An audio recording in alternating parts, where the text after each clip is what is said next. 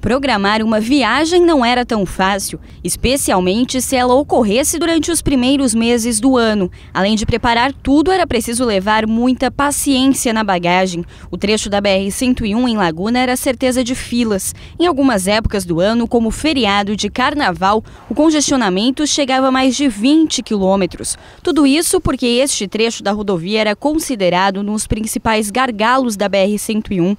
Agora, com a liberação do trânsito na ponte Anitta Garibaldi, este problema deve acabar e os 27 mil motoristas que passam diariamente por ali poderão ficar mais tranquilos, pelo menos nesta parte da via. A preocupação é que agora o trecho de Tubarão se torne o mais problemático no sul do estado. Apesar do túnel do Morro do Formigão também ser inaugurado, ainda é preciso concluir as obras da ponte sobre o rio Tubarão para que toda a rodovia esteja duplicada. A nova travessia começou a ser construída em dezembro do ano passado e a expectativa é que até o verão ela esteja pronta. Apesar das obras ainda não estarem concluídas por aqui, a Polícia Rodoviária Federal acredita que as longas filas que aconteciam em Laguna não devem se repetir neste trecho. Apenas em algumas ocasiões, como nos feriados em que a BR fica mais movimentada, devem haver alguns congestionamentos, mas todos pequenos. Já que o trânsito que passa por pista simples, né, o que ocasiona a retenção do tráfego e um pouco a redução da velocidade, o trecho é pequeno, de modo que a PR, a Polícia Rodoviária Federal espera que mesmo aqui no Morro do Formigão a gente não encontre filas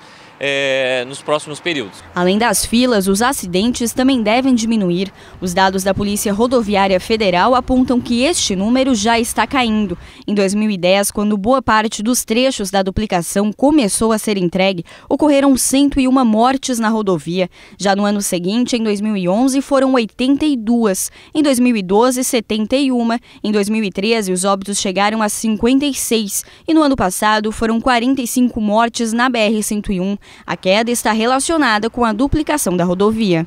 É, a partir do momento que a gente que, que o trânsito na rodovia foi sendo é, liberado, já duplicado, o número de acidentes vem diminuindo, né, já que não há aquele conflito durante as ultrapassagens, onde normalmente é, se registravam vários acidentes com colisão frontal. Então é a, a, duplicação da rodovia ajuda sensivelmente na redução dos acidentes. Mas o inspetor faz um alerta. Mesmo a duplicação sendo mais segura, é necessário ter muita atenção. No trecho norte da rodovia, após a ampliação das pistas, o número de acidentes cresceu quando deveria ter diminuído.